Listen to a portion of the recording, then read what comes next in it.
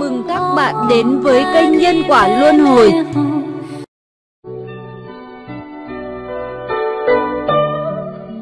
Tự tại phi tha tại. Vạn Phật Thành ngày 16 tháng 9 năm 1982 Trên thế giới mỗi ngày mọi chuyện đều biến. Loài người, vạn vật, thời gian, không gian đều biến. Mùa này đáng lẽ không mưa, xong lại mưa, đó là khí hậu bất thường.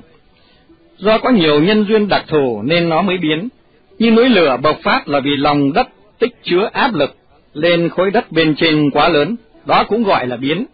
Con người thất thường thì ta gọi là điên, tức là bệnh thần kinh. Khí hậu thất thường thì ta gọi đó là bệnh thần kinh của khí hậu, chắc chắn là có chuyện bất thường xảy tới. Đó đều không phải là hiện tượng tốt. Trong lúc này, đủ thứ tai ương, tật bệnh phát sinh, mình cần phải dụng công tu hành, phải biến điều u tối thành điều kiết tường, phải làm cho tai họa trở thành bình an. Nếu mình không tu cho tốt, thì khi khí hậu thay đổi, mình cũng thay đổi theo. Khi con người biến đổi về tâm lý, thì nhiều vấn đề phát sinh. Nên kẻ học Phật Pháp, lúc có sự biến hóa phát sinh, thì phải đặc biệt dụng công tu hành, hoặc là niệm Phật cho nhiều, hoặc là trì chú, tụng kinh cho nhiều. Khi có sức lực thì phải dáng làm nhiều chuyện tốt lành, bởi vì đức đại oan nghiệp tiêu, tức là đức lớn thì oan nghiệp mới tiêu trừ được. Ở vào thời không bình thường thì mình phải tùy duyên bất biến, theo duyên mà không thay đổi. Điều quan trọng nhất là đừng sinh lòng nóng giận, vì nóng giận thì tức là biến, là thay đổi. Con người muốn liễu sinh tử thì phải chịu nỗ lực. Nỗ lực tức là sao? Nghĩa là bất cứ làm việc gì đều phải hết sức chân thật. Khi gặp điều tai họa, chuyện nghịch ý, rắc rối thì đừng động tâm, đừng sinh lòng bực tức, nóng giận. Đó tức là nuôi dưỡng cái tánh trời, tánh đất trong người mình. Làm được như vậy thì có thể vá trời lấp biển, trở thành kẻ chân chính tu đạo, chân chính học Phật cầu Pháp. Cho nên cần phải nghiên cứu một cách rõ ràng sâu sắc, không nên chấp trước mọi chuyện, mọi việc. Hết chấp trước thì mình không giải thoát tự tại khám phá phóng hạ tự tại. Khám phá tức là nhìn suốt, phóng hạ tức là buông xả, vứt bỏ. Hễ khám phá thì hiểu suốt, rõ ràng mọi sự. Hễ phóng hạ thì giải thoát. Hễ giải thoát thì mới chân chính tự tại. Không giải thoát thì không thể tự tại được. Tự tức là mình mà không tại thì tha tức là kẻ khác. Tại. Tha tại tức là vọng tưởng đầy dẫy nếu theo mặt chữ mà nói thì đầy ý nghĩa.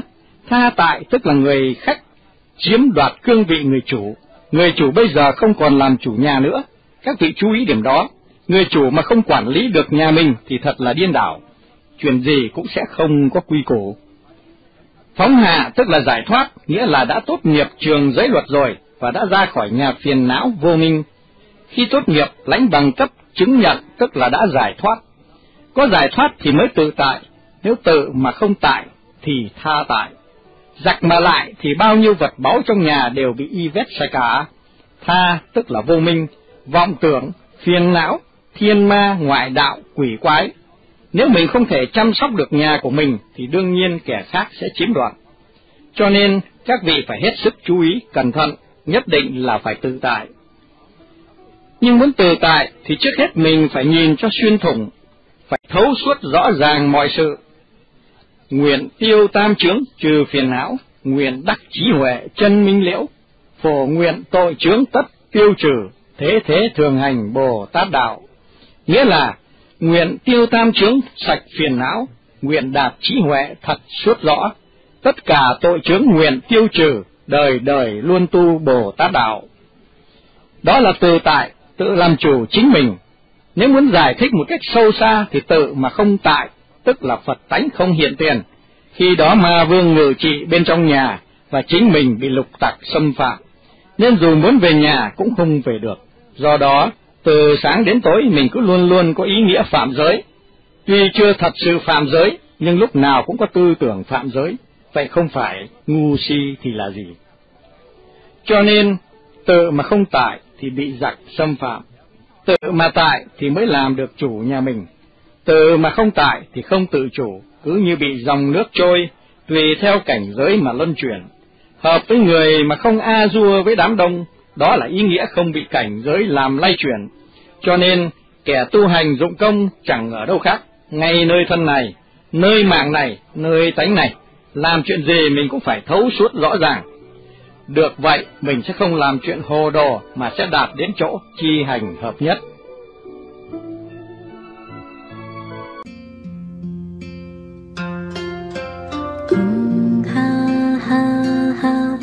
三摩地所